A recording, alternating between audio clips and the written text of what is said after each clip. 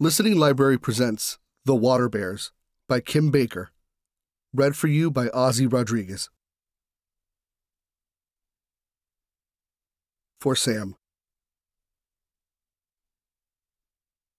Chapter 1 I turned 13 the day after a storm came in with a king tide. High tides climb up part of the shore, but a king tide can make the whole beach disappear.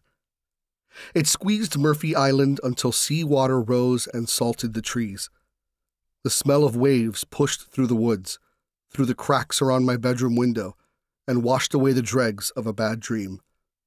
People notice details when they hope a day might be special. It could be a surprise visitor day, a hey, I'm starting to grow a mustache day, or a blow out the candles on your favorite cake day. I found my mom on the computer in my brother Carlos's old room. I stood in the doorway behind the desk where she couldn't see my leg. I am an expert at keeping furniture between us, especially when it's hot enough for shorts. Even with a desk and me standing with my good leg in front of the bad one, Mom was careful not to look down. She hugged me and sang Happy Birthday like an opera singer. I clapped for the effort. Where are Dad and little Letty? I asked. I thought they might be out getting me a present. My sister always waits until the last minute. Or they'd gone to the bakery to pick up a cake. Dad used to make our favorites at home, but he's working more this year. They're down at Gertrude Lake. Everyone's down there, she said. Everyone but us. She brushed dog hair off the keyboard and straightened a stack of bills. Your dad saw it this morning. Saw what? The first thing I thought of couldn't be right, but she said it anyway. He saw Marvolo. She smiled again, like that was good news, or a joke, or the start of a conversation. She stretched and turned back to the computer, scrolling through recipes and fishing reports. There was nothing to say back. Marvolo is a creature that supposedly lives in Gertrude Lake, in the middle of the island. Optimistic tourists rent paddle boats and pump quarters into the telescopes on the beach, hoping to see it. There's a warning at the paddle boat stand that boaters might get eaten. It's a joke with the locals. Every year, Marvelo is spotted before the Marvelo Festival. Bits and blurry pictures could be a lake monster if you squint, or they could be logs. We have a lot of logs. I walked slowly over the squishy mud so my leg wouldn't be too sore on the way back home. I almost stepped on a salamander, but I shooed him off the path into the ferns. Islands are shaped like things, the way clouds are shaped like things. On a map, Murphy looks like a wonky avocado half, 37 miles from the mainland. Rocky beaches and smooth mud flats are the skin, and Gertrude Lake is the pit. Everything else is the creamy green stuff that goes brown if you leave it out. Dad stood with the pack of friends he calls comrades beside a gazebo that Mom helped build out of old farm equipment and blue bottles. The bottles hummed from a lake breeze, and Dad waved his arms toward the water. Just forty feet that way, he said. It's spy hopped and breached like a humpback, but leaner and more serpent like. It splashed down hard enough to slosh a wake up onto the shore. Dad pointed to his still wet shoes. The guys around him nodded, and the waiter came out from the cafe across the street to sell coffee and pastries to everyone standing around. Hey, buddy, ready for summer? Tom with the beard tilted his head and smiled at me. He runs the paddle boat stand, and he's not my buddy. He asked how physical therapy was going, like he should get points for knowing about it. I said I was done, and he said I was brave and squeezed my shoulder, which is the absolute worst. I shrugged, and he left to rent a paddle boat to a tourist. Somebody could ride a blue cat boat or a purple fox boat out to look for Marvolo. Tom with the beard must have left the paddle boats unchained because a couple of them drifted around the lake like lost pets. Little Letty sat in the orange zebra boat, still chained to the dock. She threw a basketball up and caught it over and over. Newt, come here. Dad pulled me in for a hug. Happy birthday, mijo. Thirteen. You feel different? I shook my head. Can you believe it? I didn't know if he was talking about turning 13 or Marvolo. My answers would have been yes and no, but he didn't wait.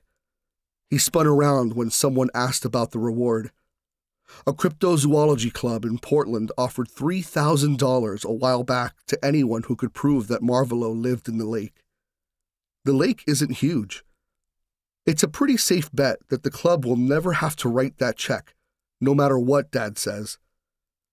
The club has reward offers for Sasquatch and jackalopes, too. It's that kind of operation. I don't even want to get into it, but my dad is writing a graphic novel about an island with two monsters called Marvelo and Manxodon.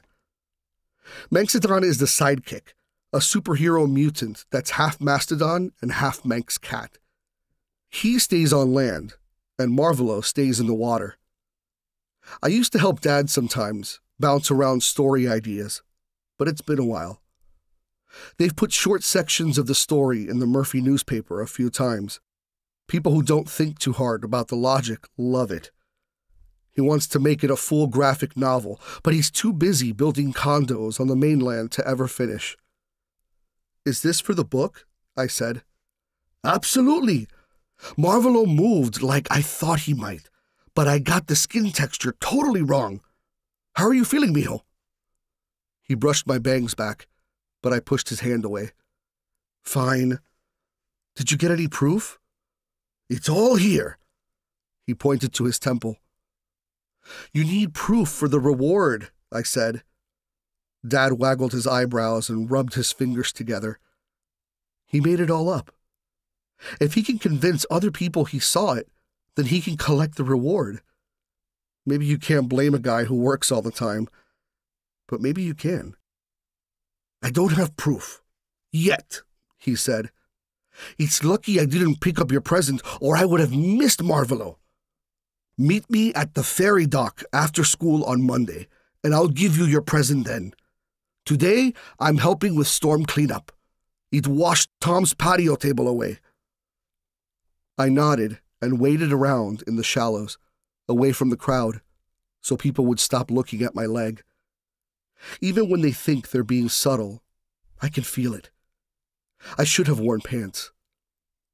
The water stayed flat as Dad described Marvolo all over again to a new group of passing comrades. I'm not a comrade, so I walked home. Last year, I said I didn't care what I got for my birthday and got shirts and a sleeping bag. This year, when they asked, I said I wanted a bike. I left windows open on the computer to new bikes I liked. I ordered bike catalogs and left them lying around. No surprise camping gear this year, even if I do use the sleeping bag to sleep in the tub sometimes. Plus, the doctor said riding a bike would be good for my ligaments. There are a finite number of bikes already on Murphy Island. None are new.